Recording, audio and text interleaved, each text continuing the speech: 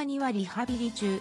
その中で44から46の医療ドジャースの大谷翔平投手は2日、日時間3日の試合を終えて44塁打98打点、オックス993を記録しており、ナリーグ MVP の有力候補となっている。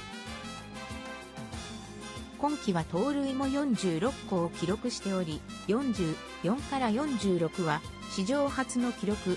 ファンからは、大谷さんってリハビリ中の投手やんな、これ投手の大谷翔平のリハビリ期間中の出来事ですと、改めて大谷が完全体ではないことに注目している。大谷は昨年に投流でプレーし、投手では23試合に登板して10勝5敗、防御率3.14を記録した。ちょうど1年前に右肘を手術し、今季は打撃専念でシーズンに入った。打撃と走塁で好成績を残す中、試合前にはキャッチボールを行うなど地道な投手復帰へのリハビリを続けていた。チームがドジャースに代わり、シーズン序盤は2番。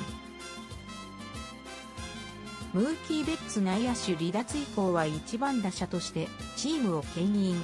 塁打数でリーグトップを走る中で盗塁数も大きく増やしている。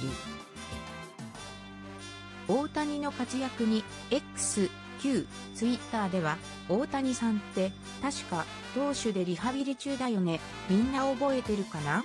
リハビリ中のピッチャーってことをみんな投手だってことを忘れてない？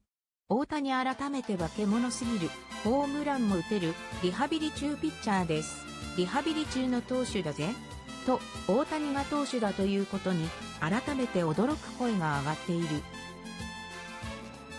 今季の攻撃面でのパフォーマンスに加え、来季どんな投球を見せるのか、今から楽しみだ。